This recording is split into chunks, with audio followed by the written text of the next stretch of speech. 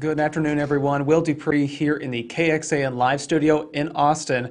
We are listening into a news conference right now with Governor Greg Abbott and other state leaders, including House Speaker Dennis Bonnen and Lieutenant Governor Dan Patrick, talking about some sort of announcement regarding police funding.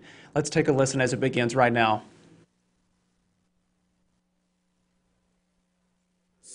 uh, Fort Worth Police Chief Ed Kraus, as well as the Fort Worth uh, Police Officers Association President, uh, Manny Ramirez. Uh, Before I get into uh, the subject that I want to talk about today, let me mention uh, something about the importance of today in American history.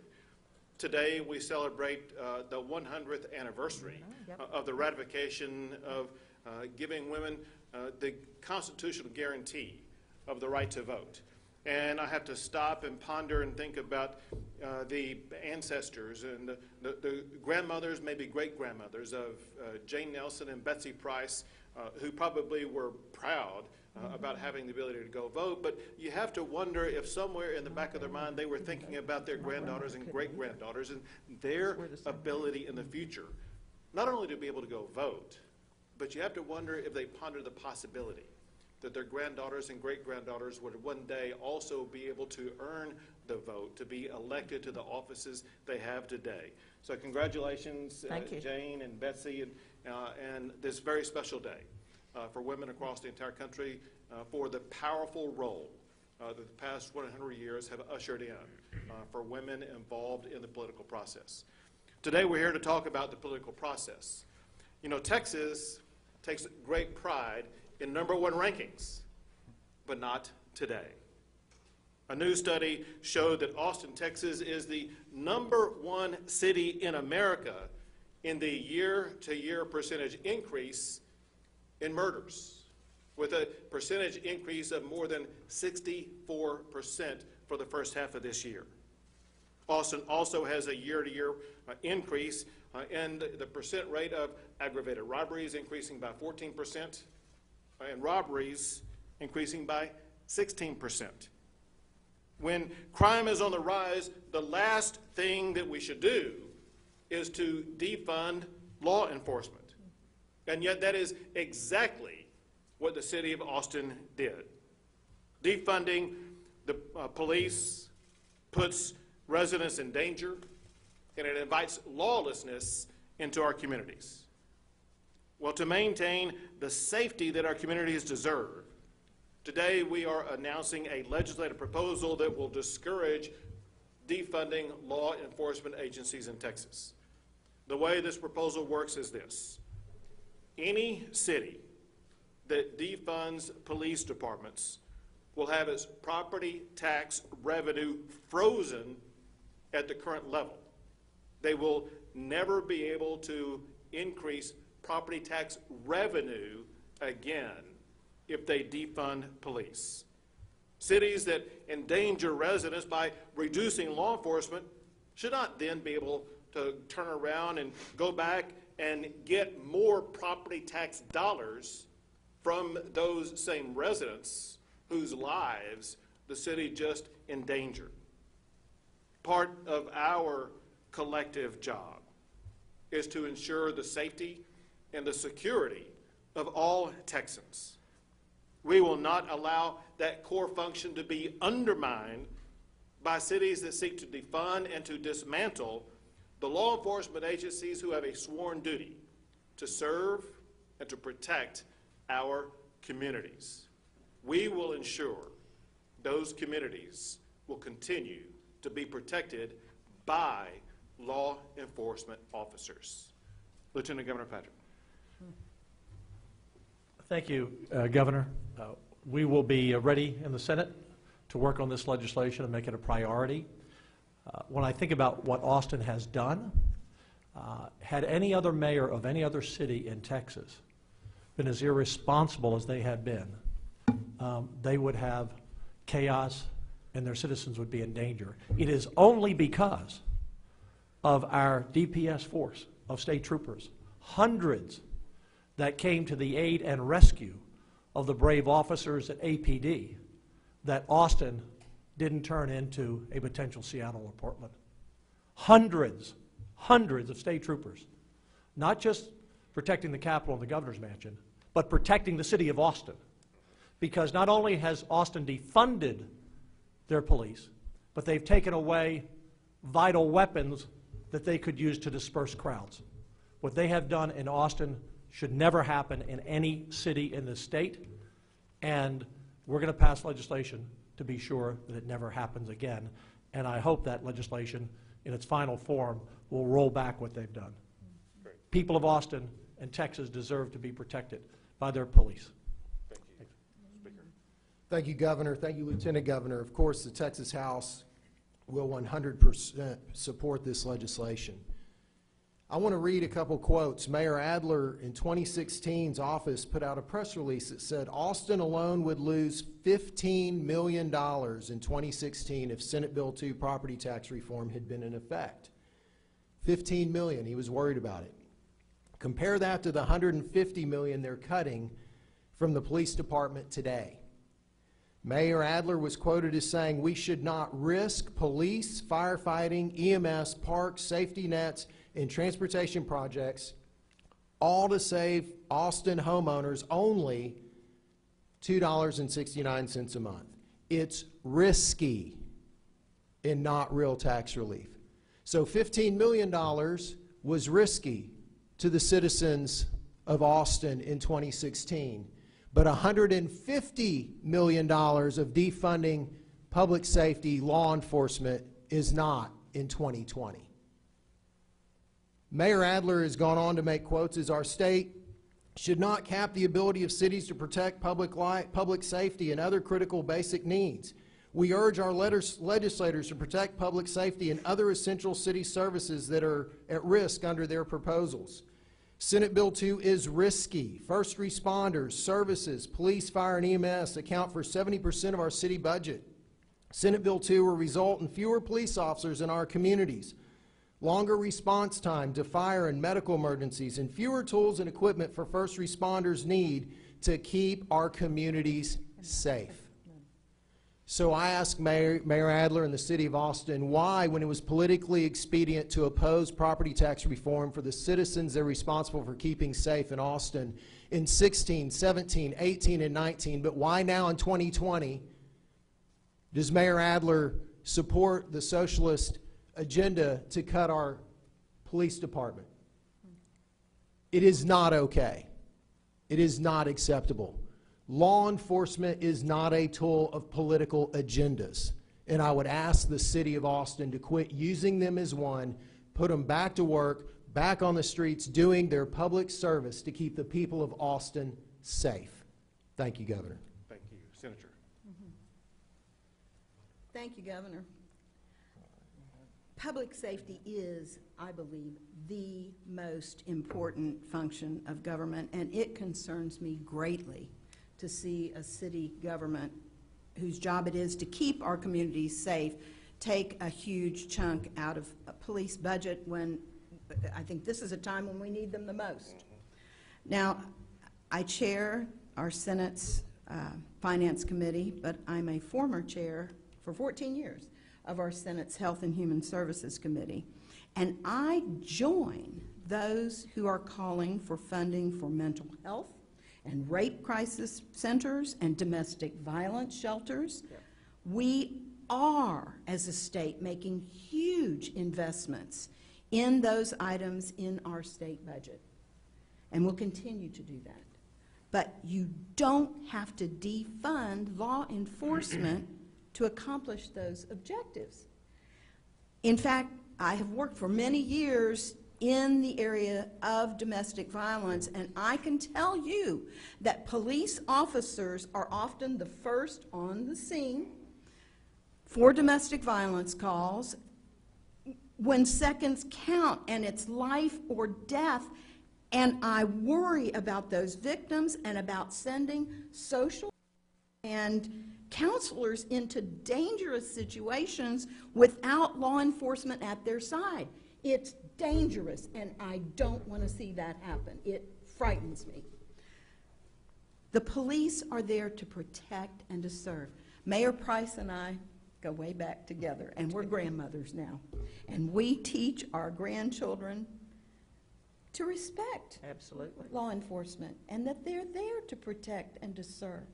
And it's been very difficult to explain to young children why people are allowed to destroy public property and set fires and riot in the streets, and yet at the same time, we see cities turning their backs on police. It's hard to explain to our children.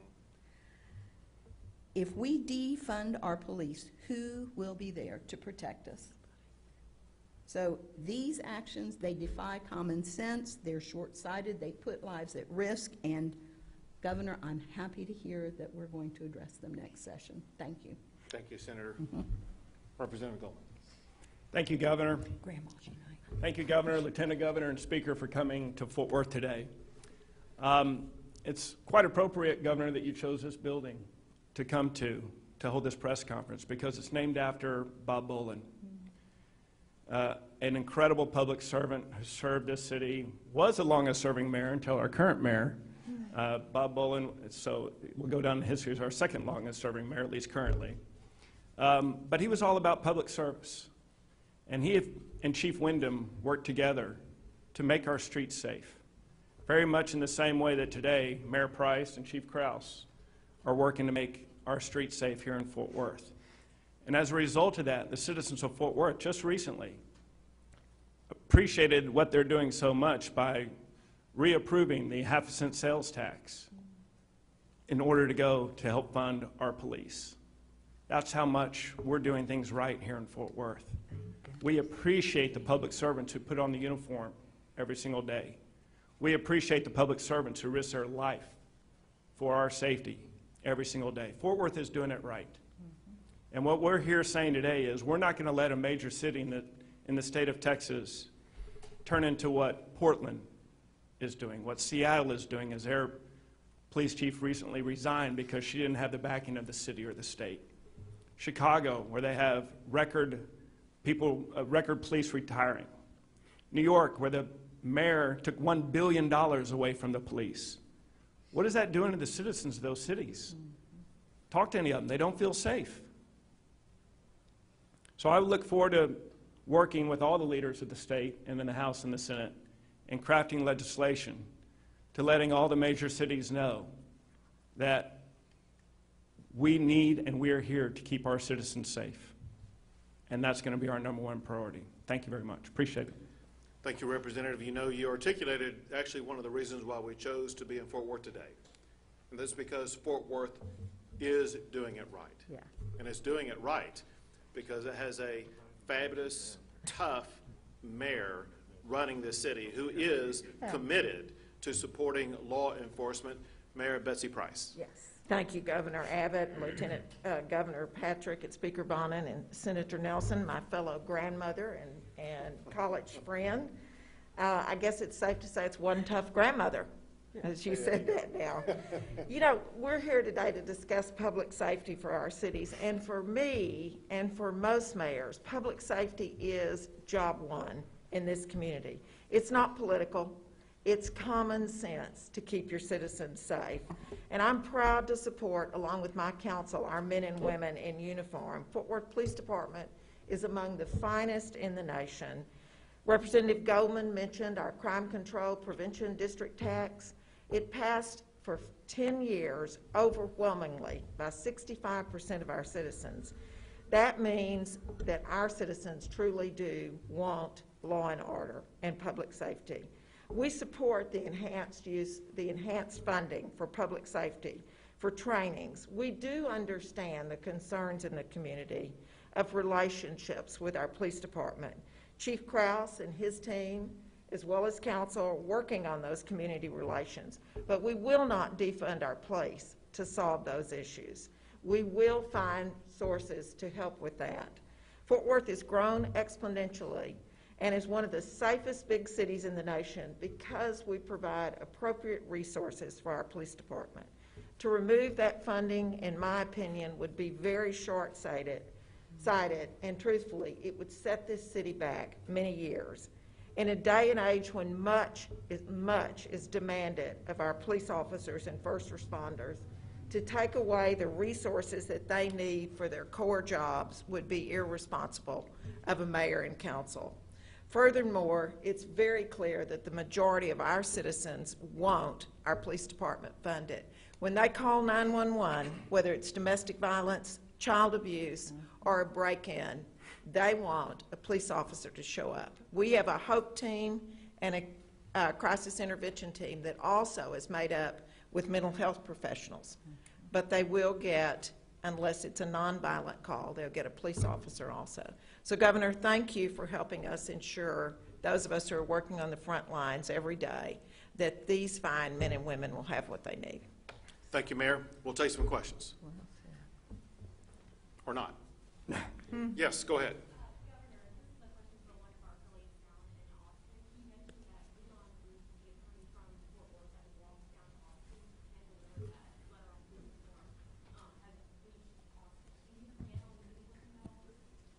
Well, obviously, I'm not there today, uh, and uh, my schedule is in flux tomorrow. Uh, We'll just have to see. Uh, If if not, I have no doubt that I have representatives who would be happy.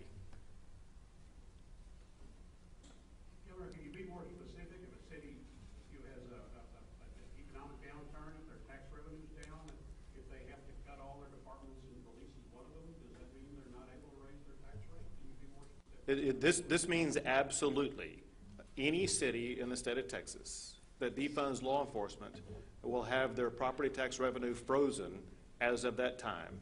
And that does mean, yes, in the future, if they do face tough economic times, it means they will have no ability to increase that property tax revenue. What that does, Bud, is it ensures those cities know if they do make the decision to defund law enforcement, they are constricting their ability to ever be able to meet the other needs they have.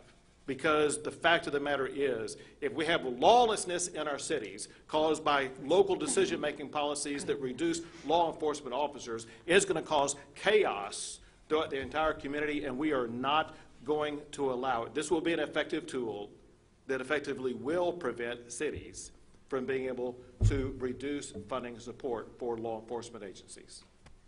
Governor, could I just add Sure. something?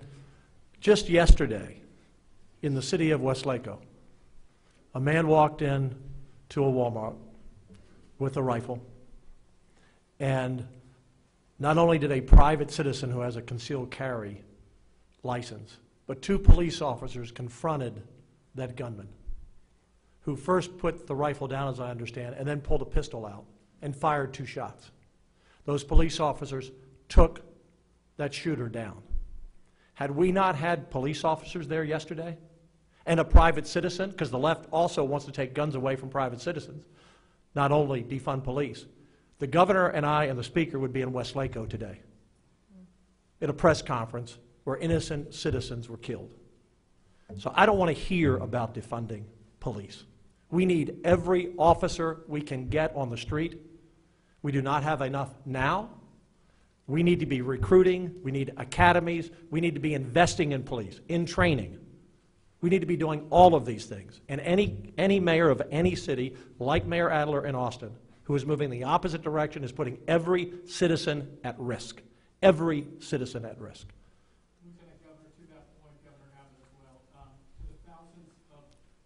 Activists, protesters who have passionately taken to the streets to push for a message to defund the police, is there any middle ground here? Is there anything you're willing to do to hear their side? So I'll, I'll start out by addressing and by telling you this, and, and that is in the aftermath of uh, the killing of George Floyd. I had the opportunity to meet with the family of George Floyd, and I've had the opportunity uh, to meet uh, with the uh, Black Caucus in the Texas legislature uh, to talk about some of the ideas and strategies uh, that they will be working on in the upcoming session. First, we have to start with my perspective, and that is George Floyd was murdered. And what we need to do is to make sure that we do fully fund and fully employ law enforcement, but we provide law enforcement with the training, the tools, and the strategies they need to prevent a replication of a George Floyd type situation in the future. So we need actually to invest more in law enforcement, so they do have that training. And then second, we do need to evaluate some use of force strategies to make sure that strategies are not used in ways that kill someone who should not be killed. And then separate from that, uh, I've made clear to the, the Legislative Black Caucus, uh, as well as to the George Floyd family, that uh, I am open to, to working on any strategies that will make Texas better. That said, I have been clear from day one, defunding law enforcement is never the answer. Reducing law enforcement is not the answer. Texas will not tolerate a reduction of law enforcement in the state of Texas. We need our law enforcement officers, and we need them funded. Governor, it's, it's pretty clear that uh, the phrase defund police varies in its definition from person to person. Um, And as you, you mentioned, the most recent uh, cry for it uh, involves not only the killing of of George Floyd, but to stem the tide of uh, many people of color dying in incidents involving police brutality uh, as well as to increase the accountability uh, among police departments. What is there in terms of balance that you can say that you're willing to to do or to look at in order to as you began, uh, reach some type of, some type of uh, solutions? Sure. to the protest- So to i- I- If we have police brutality, we don't need fewer police, we need less police brutality. And so we need to take action, whether it be as a legislature or in uh, police departments or whatever the case may be. We do need to take action to ensure that law enforcement officers are trained in ways in which they will not engage in police brutality. But just because there is an act, or maybe many acts of police brutality, doesn't mean that we eliminate or reduce or cut back on law enforcement. It means we need to do a better job of training those law enforcement officers to ensure they do not engage in acts of police brutality. Governor, I know there have been discussions of moving some state offices out of Austin, out to the suburbs or, or out to, uh, you know, other surrounding areas. Is that a reality if there's not safety and security in central Austin? Did you say state officers? All the capital, all the offices around the, the departments? Sure, you mean me, or- yeah, uh, I'm trying to figure out, is your question broader than law enforcement?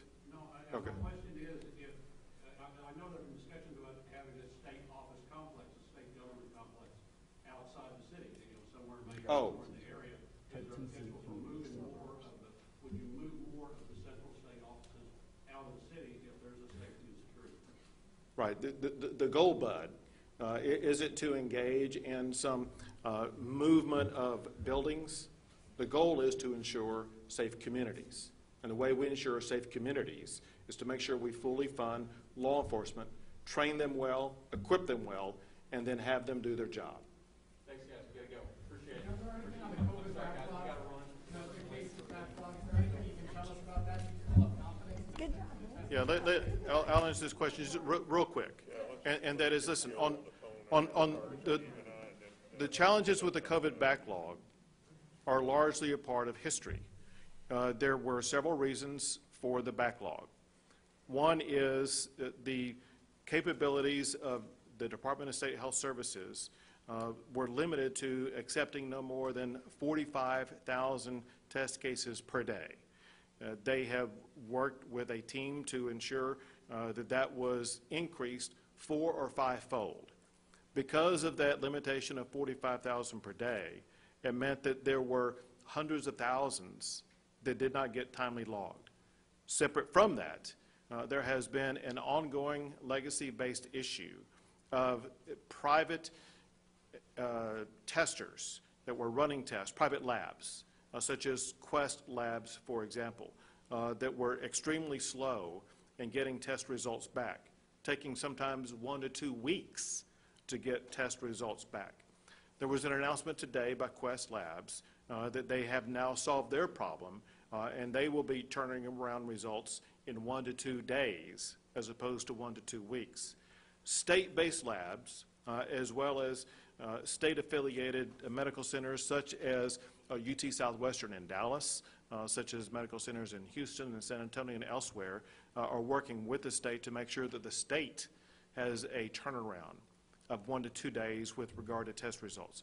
Bottom line is this, and that is for maybe another few days, uh, there could be some numbers adjustments that are coming in, but the problems underlying that have now been solved. Yes, still have, I, I have greater confidence today than I've ever had in their ability to make sure that they are fu- fully capable of accounting for all test and test results and reporting very accurate results.